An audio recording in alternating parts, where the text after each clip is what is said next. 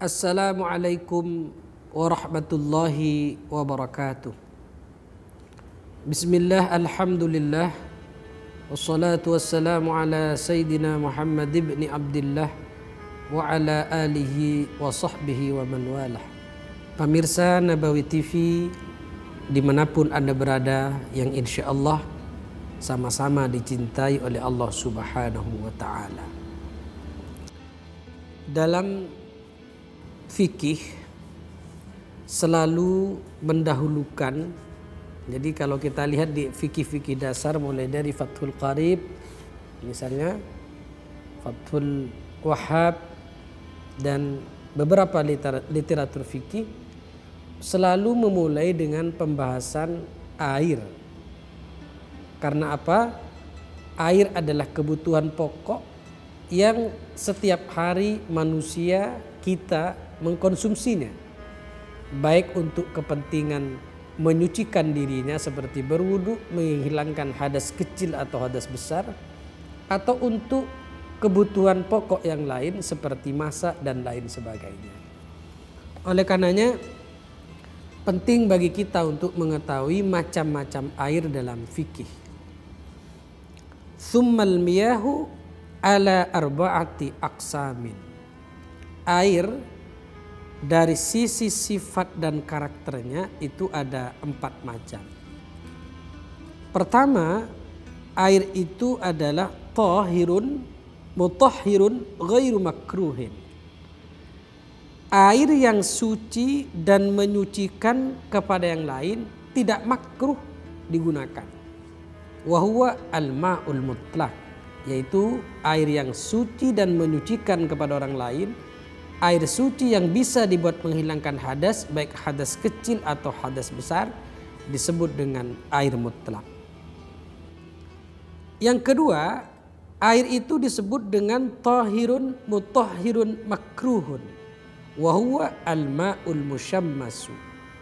Air yang suci bisa menyucikan kepada orang lain, bisa dibuat wudhu bisa untuk menghilangkan hadas kecil atau hadas besar, bisa untuk selain apa pun, tapi makruh tidak baik digunakan. Wahwa al-ma'ul musyammasu yaitu air yang panas. Air yang dipanasi oleh terik matahari atau memang air itu adalah air yang memang panas. Suci dibuat masak boleh air panas ya kan. Atau dibuat untuk wudhu misalnya.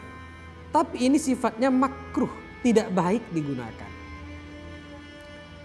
Jadi air yang suci menyucikan tapi makruh digunakan itu disebut dengan ma'ul musyammas namun ulama di sini memberikan satu batasan-batasan.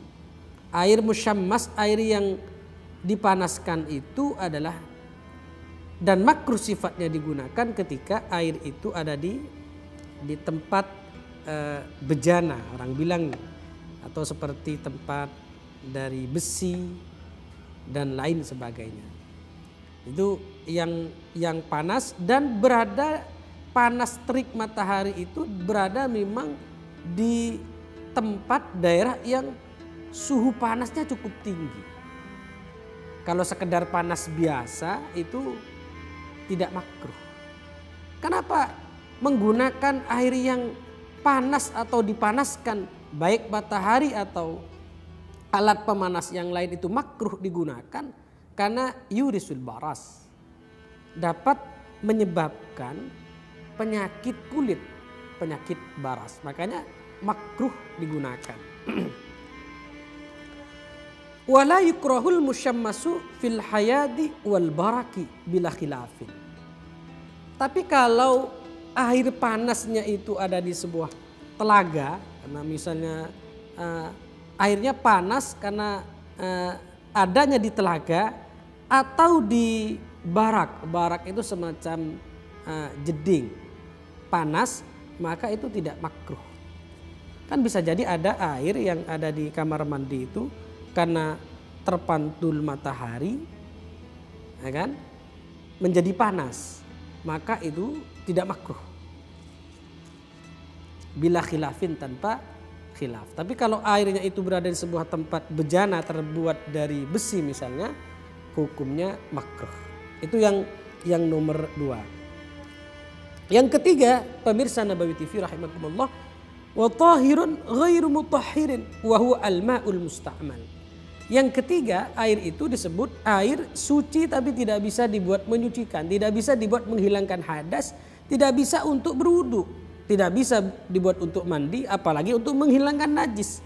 Wahwa al-ma'ul musta'mal, air yang ketiga ini disebut dengan air musta'mal, yaitu air sedikit yang tidak sampai pada ukuran dua kullah, kemudian sudah digunakan atau kena percikan ketika berwudu, ah ini disebut dengan ma'ul musta'mal. Maka penting.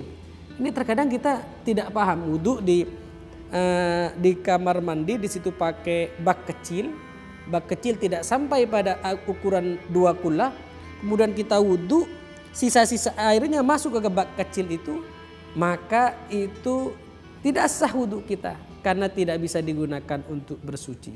Mudah-mudahan bermanfaat. Wallahul muwafiq ila aqwamit thoriq. Wassalamualaikum warahmatullahi wabarakatuh.